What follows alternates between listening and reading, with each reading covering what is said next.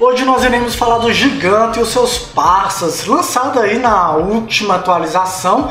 Eu acredito que erroneamente eu irei falar um pouquinho mais no Café com Ceia, que vai ser o vídeo aí que vai chegar finalmente depois de uns dois meses aqui no canal. Mas a review de hoje vai ser o Gigante de Ciclope, 5 motivos para você investir nele na sua conta. Bem-vindo Cavaleiros Amazonas a mais vídeo aqui no canal do Nent Sensei Awakening, porque a gente vai falar um pouquinho desse novo classe A que a galera, tipo, antigamente falava bem dele, ultimamente eu não ouço falar mais nada dele, nunca vi ele no Jamiel, mesmo a galera falando bem dele, e vou compartilhar a minha experiência com vocês, beleza? Então vamos para o primeiro motivo para você investir no Giganto Ciclope Tanker.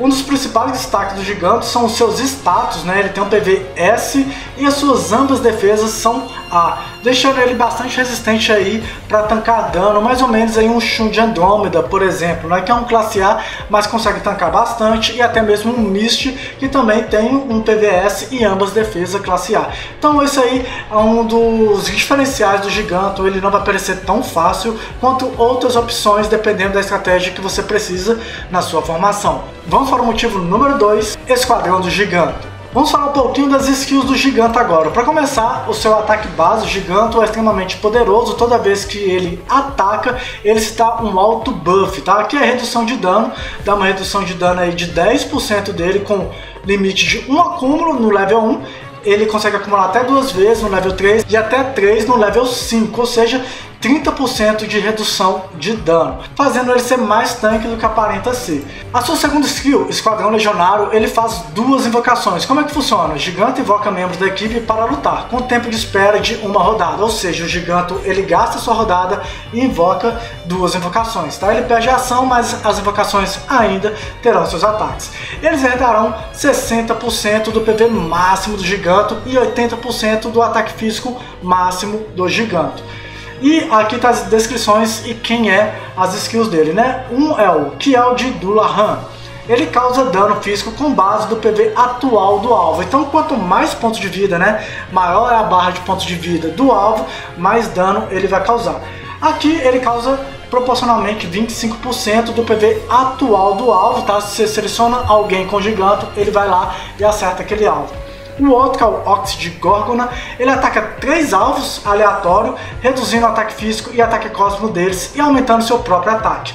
No level que eu estou, ele vai causar 100% de multiplicador de dano em cada um. É como se fosse o Cosmo Jacinto, aquele Cosmo que eu utilizo bastante no Hypnos, que reduz aí o ataque físico e cósmico. E além disso, ele bufa ele mesmo e o Giganto, não bufa o Kill tá? Só bufa o Giganto e ele.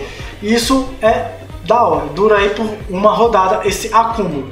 E na medida que você vai upando essa habilidade, vai melhorando os efeitos. Chegando aí no level 5, eles vão herdar 100% do ataque físico do gigante, ou seja, o ataque físico que você tiver do gigante, eles vão herdar. Lembrando que o QL ele sempre vai causar dano aí proporcional aos pontos de vida do alvo, então é diferente o tanto que ele vai herdar. Porém, no level máximo, ele vai melhorar de 25 para 45% do dano que ele vai causar. Lembrando que ele não vai arrancar 45% do dano do alvo, né? Ele pode critar e ainda o alvo pode ter redução de defesa e por alguns outros buffers, por exemplo, tá? Aqui não está calculado a defesa na hora que ele vai causar dano. Agora o nosso amigo Ox de Gorgona, ele vai aumentar o seu ataque para 180% de dano, continuará reduzindo os 10% do ataque físico e cósmico de quem ele acertar, porém o acúmulo de buff dele vai para 3 buffs, pode buffar até 3 vezes, e ao invés de ser 10%, vai ser 20%. Isso aí é bem interessante, principalmente se você quer dar duplo turno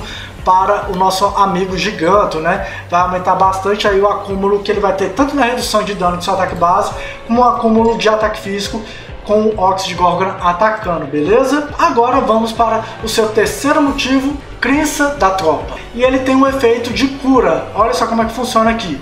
No início do combate, Miles de Elfo protege seus aliados, purificando Giganto e suas invocações.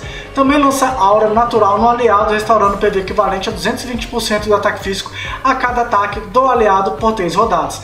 Aqui, o Giganto, ele vai colocar uma aura no que estiver mais rápido na fila. Ele vai ficar com uma aura que eu vou mostrar para vocês. E toda ação desse aliado seu, ele vai curar 220% no level 1, 300% no level máximo durante as três primeiras rodadas. Então, estrategicamente falando, se você tem alguém aí que você gostaria de potencializar a cura, ou por exemplo, reforçar a cura do Shun, né? Normalmente o Shun MM não cura muito bem quem está na frente da fila, pelo menos primeiro da fila, o nosso amigo Giganto vai ajudar na cura, beleza? Então vamos para sua passiva Crença Eterna, também relacionada às suas invocações, que deixa ele ainda mais tanque. Como é que funciona?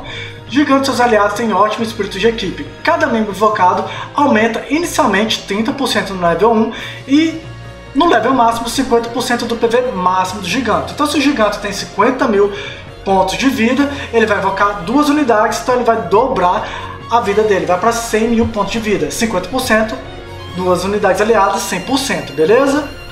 Quando um deles perece, ele também recupera pontos de vida, né? Inicialmente ele recupera 10% da vida e Full Skill ele recupera 20% toda vez que uma unidade invocada dele perece. Eu não consegui testar nas gameplays que eu fiz, ninguém pereceu do gigante, tá? Das unidades aliadas, mas eu acredito, né? Só testando mesmo, mas se alguém perecer e você gastar 2 de energia para invocar novamente, eu não sei se isso aqui vai ser acumulativo. Fica uma dúvida aí, se vocês já conseguiram testar, deixa nos comentários, beleza? Então como você viu, o set skill e de status dele é bem tanque, então ele reduz dano aqui, ele aumenta dano aqui, ele consegue reduzir dano aqui, ele consegue curar aí um aliado lá na frente da fila, é muito bom, deixa muito tanque. Então vamos para o motivo número 4, classe A. O gigante é interessante que você não precisa ficar gastando livros azuis nele, né? Então, na medida que você for jogando, for dando tiro no banner, a qualquer momento você vai upar as skills do gigante, que eu recomendo estarem bem upados, principalmente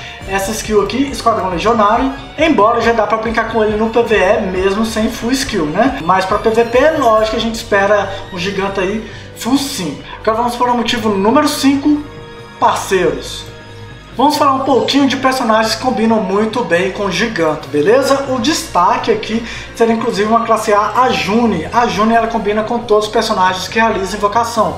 Afinal de contas, ela vai transferir dano para as invocações. Como o Gigante invoca duas unidades aliadas, e você nem se importa com elas, podemos dizer assim, é bom eles sofrerem dano e graças a June vai reduzir o dano geral que todo mundo sofreu, né? Isso é bem interessante. Ao invés dela distribuir dano para 6, vai distribuir dano para 8. Talvez o combo mais utilizado seja do Wiki Divino, né? Já que com o Giganto ele vai ter duas invocações, ele poderá substituir muitas vezes o Isaac e o Wiki Divino, ao invés de ter 5 ataques extras com o Isaac, ele terá 3 ataques extras com o Gigante. Reforço que eu devo futuramente upar o meu Giganto e testar ele no PVE e fazer um vídeo só com Giganto no PVE. Por enquanto foi uma análise mais PVP e uma especulação de PVE que eu ainda tenho que testar. O Giganto vai valer a pena a mais no PVP para quem quer brincar com o Ike Divino, mas Ike Divino no PVP é um pouquinho estranho atualmente, mas quem sabe a gente dá uma brincada aí com eles. Outra coisa interessante também das invocações do Giganto só reforçando aqui, é que ele é interessante contra atacantes aleatórios. Então se você está enfrentando, por exemplo, Radamantes, Afrodite, Milo, a galera que é invocada é alguém inconveniente que pode aparecer aí pro oponente, né? O giganto na sua formação. Então fica ligado nessa estratégia do giganto também. E se você quiser reforçar os efeitos do giganto, Lógico, nós temos os parceiros aí MM, afinal de contas o Giganto ele é custo zero depois que ele invoca, né? E também temos a nossa amada Luna, que aí o gigante dá dois ataques, vai reforçando aí os seus auto buff também, e se tiver com o Wiki Divino, o Wiki Divino vai poder atacar mais vezes também. Então, vamos falar um pouquinho de fraquezas do gigante, né? Como ele não pode ser tão eficiente na sua formação. Mas antes que comece a falar, não esqueça de chamar o canal, deixando seu like, a sua inscrição e, se possível, compartilhar, beleza? Uma das coisas que incomoda aí do gigante, por exemplo, é o Hypnos, né? O Hypnos caso você esteja enfrentando um, para cada invocação que você tem, o Hypnos aplica mais um efeito né, de pesadelo, isso é bem chato. Pandora, né, afinal de contas, ele reduz o ataque da galera de três alvos. Se você atacar com o gigante, né, com as suas invocações, ela vai curar seis vezes ainda, revertendo essa redução de ataque para aumento de ataque. E referente às gameplays que eu fiz com o Gigante, eu não vi ele causando um grande dano assim, um dano tão legal. E lógico que nos duelos galácticos dá pra gente cosmar e aumentar mais ainda o dano dele, que não deixa uma coisa muito boa, né? Já que a sua categoria é C. Isso é um pouquinho tenso também. A cura dele não é tão eficiente, para falar a verdade. O que eu mais gostei mesmo foi ele distribuindo dano com a trepadeira, né? Por causa das invocações e com o Wiki Divino. Fora isso, eu não achei ele tão atrativo. Mesmo que ele seja tanque, mas ele parece um poste fazendo nada na luta. E isso é um pouquinho tenso, né? Porque se você ficar reduzindo somente 10% de ataque da galera, não é tão efetivo assim e você não escolhe os três, né? Antes da gente mostrar ele numa gameplay, eu vou falar agora do que, que a gente pode cosmar ele. De Cosmos, eu recomendaria você deixar ele bem tanque, né, para ele sobreviver ainda mais, ele ficar aquele empecilho lá, tancando bastante os danos que o oponente for causar. No caso, a PV, defesa, qualquer defesa é interessante para ele, tá certo? Velocidade, isso vai de acordo com a sua prioridade, não acho que velocidade é tão importante assim para ele, mas é legal a velocidade em todos os personagens, né? Mas aí fica a seu critério gastar seus melhores cosmos de velocidade nele. No Lunar Estrela segue mais ou menos essa vibe. E referente a Cosmo Lendário, o que sobrou foi Flor de Equinócio, que aumenta o ataque deles em 20% e a vida máxima deles em 10%, não do gigante, somente das invocações, beleza? Mas se você não quiser uma build de dano, né, para as invocações, você pode colocar uma build de Cosmo Lendário de suporte. Fala do Pântano, Mandala, Dente de Dragão, enfim, qualquer Cosmo que, você, que não aumenta o dano, mas se for para aumentar o dano é somente Flor de Equinócio, tá certo? Essa aqui, então, vou mostrar aqui o meu time que eu estou enfrentando, que eu estou utilizando, melhor dizendo. Temos aqui o cano para gerar energia para todo mundo jogar aqui na rodada 1, pelo menos. Aumentei bastante a velocidade do Wiki Divino para o gigante jogar depois dele para ter mais ataques. Mas o cara aqui já está com Shiryu Divino, se ele botar um Shun Divino já deu zica e ele está ajustando. Temos o Hypnos para curar, né? É, show de bola. Temos a June que vai distribuir o dano no nosso giganto, né, as suas invocações e o Hypnos curar também. E é isso, a Atena tá ali para gerar energia também, para o custo de energia ficar ok na rodada 1. Aí depois as, vai ficar só o cano praticamente gastando energia com a June, né? Assim é a minha expectativa. Eu fiz um time sem o Wiki Divino, não brilhou tanto nos meus testes e achei mais legal com o Wiki Divino, por isso que eu estou mostrando com o Wiki Divino também. Ele tá com Mu aqui, velho. Eu acho que eu não coloquei violência de Ares. Ah, tô com violência de Ares. Beleza. Importante é a violência de Ares, gente.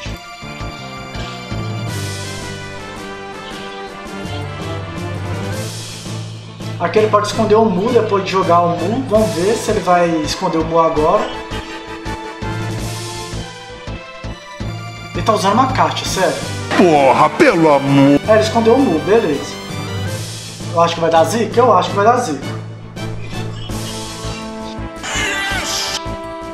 E ainda o Mu dele joga três vezes. Que bom que não tem energia, né? Então aqui já vou começar a transformação. Mas não vou deixar, vou deixar ele ainda dormindo, dormindo. Aqui eu vou colocar no Kiki. Eu vou dar uma ruína, já que não tem dano, já que o time dele é focado no Mu.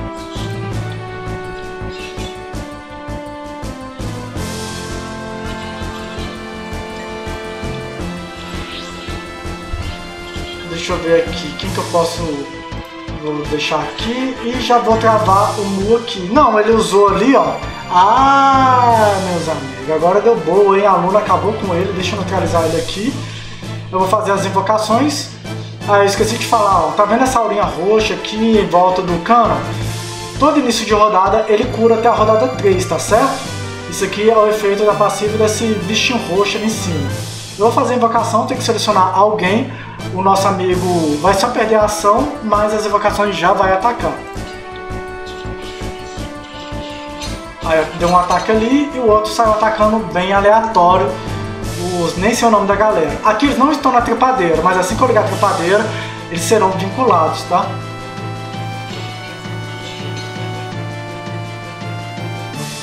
Vamos aqui no Kiki. A trepadeira agora.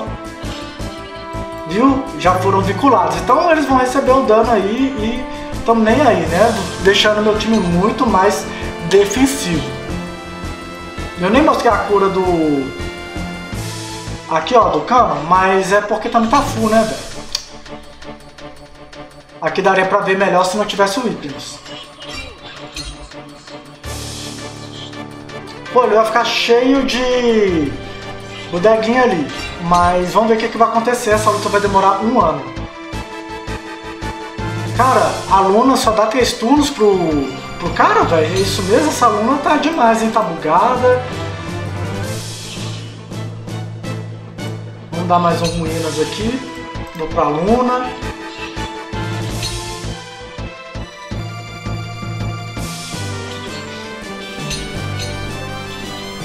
Aqui a gente só tem que eliminar a Júnior.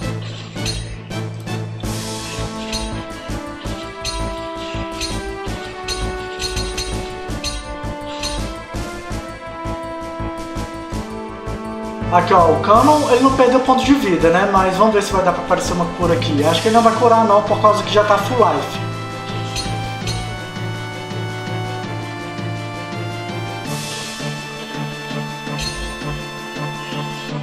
Aí, ó, curou 30 mil, curou 30 mil. Se isso é bom, não sei. Mas ele fica como segundo curandeiro, né? Que utiliza ataque físico, né? Aqui no jogo. Eu tô ganhando com o Ike Divino, gente. O cara tem uma Kat, né? Tipo, é uma desonra jogar contra uma Kat. E se eu tivesse um Shun MM aqui? Ou se eu tivesse, por exemplo, uma luna daria para dar dois turnos pro gigante aqui e aumentar ainda mais o dano do meu Ike Divino, né? Mas não é a realidade de agora.